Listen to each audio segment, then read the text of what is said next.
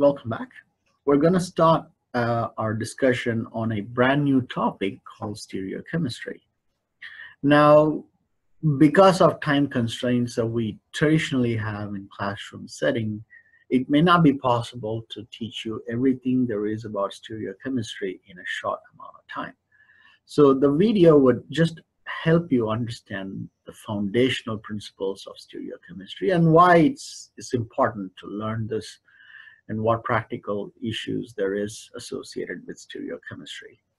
So with that said, let's get started. Stereochemistry is basically a branch of chemistry that deals with how atoms are arranged three-dimensionally in a molecule. The three normally when we when we write chemical reactions, chemical structures, we're writing them on a piece of paper, so we cannot actually write write it in a way that still it contributes a three-dimensional view. Even though we write 3D structures, we're still writing it in 2D. But the actual molecule itself exists in three dimensions. Okay? So if you are familiar with it, if I had given this molecule to you in our 170, 175 class and had you write the decrypted code and come up with the electron geometry, most likely you would have said tetrahedral and the code was AX4.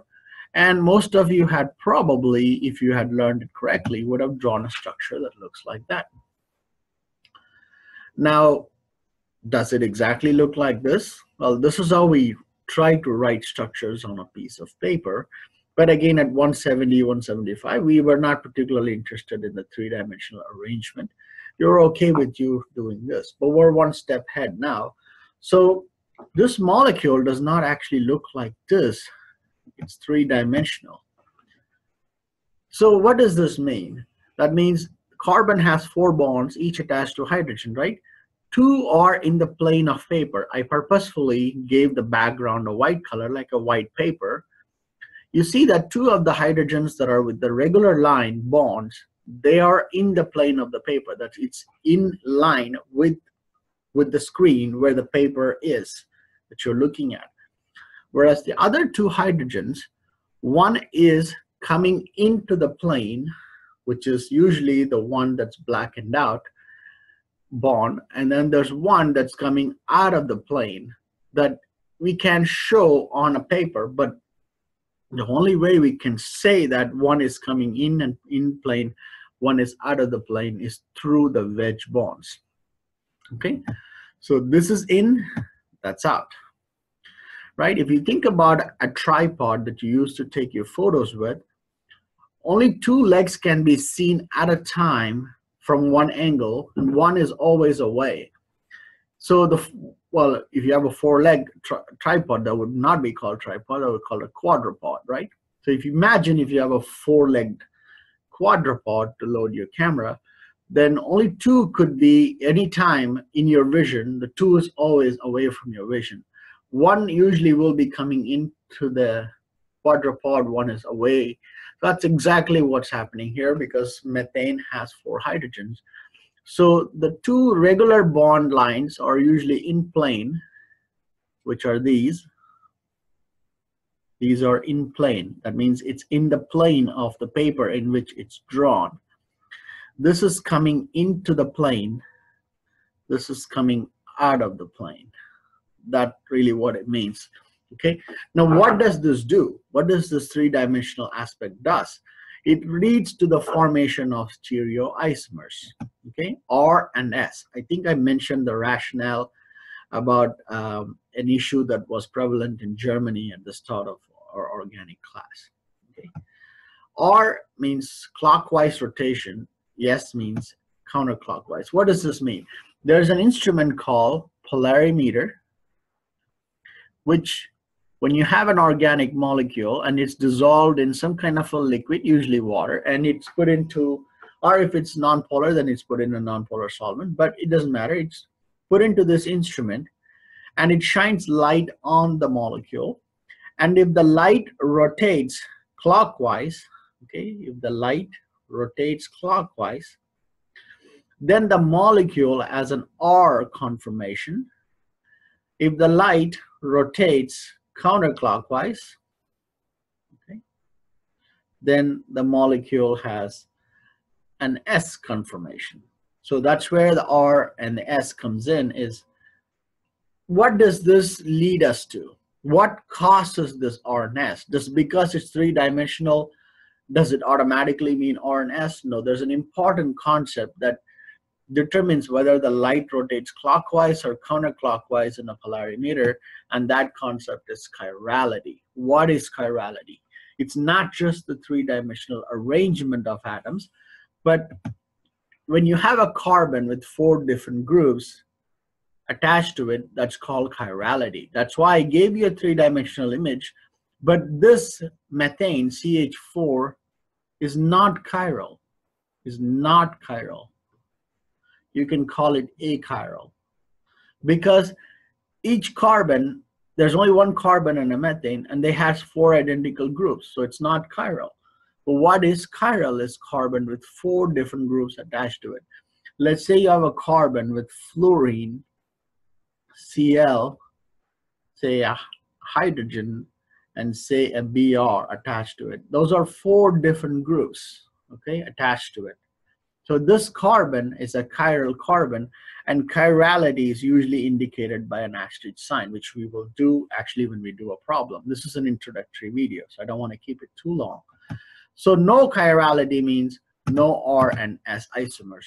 So you must have a chirality to even have R and S. If you, there is no chirality, there is no R and S. It's just that simple. Okay, and what is chirality? Every carbon, a molecule must not have every, there's not a requirement that every molecule have every carbon that's chiral. No, that's not a requirement. But if there is a carbon that's chiral, then that chiral carbon can be an R or an S. So let's say you have four carbons in a molecule, one could be R, other could be S, one could be R, the other could be S, or all could be R, all could be S. There's different combinations of it okay? So what are some key ideas that are pertaining to the idea of chirality in stereochemistry? One is enantiomers diastereomers identical meso and constitutional isomers. And then these are all part of the idea of conformational isomers. These are constitutional. This is what we've already learned where you have the same formulae.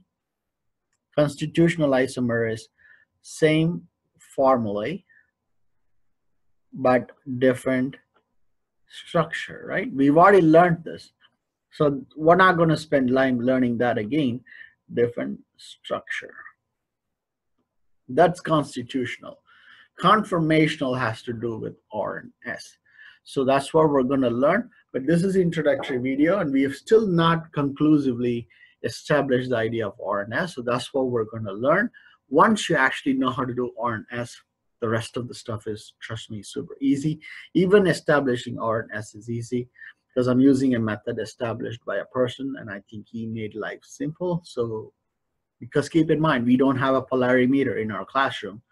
So we must use some artificial ways of getting this information. So the takeaway from this video is if your carbon in a molecule, if one carbon that you're looking at does not have four different groups attached to it, then that carbon is not chiral. What that means is, let's say I draw this one, say fluorine, chlorine is attached to this, okay, this carbon, but then say I have one hydrogen and the other is also fluorine. Now you see there's two identical. All four must be different. There's no exception that can I have two same, two different? No, all four. So this is not a chiral carbon, not chiral. This is chiral because it has all four different carbons. So we usually indicate the carbon that's chiral with a star. All right, so I don't want to say anything more than this.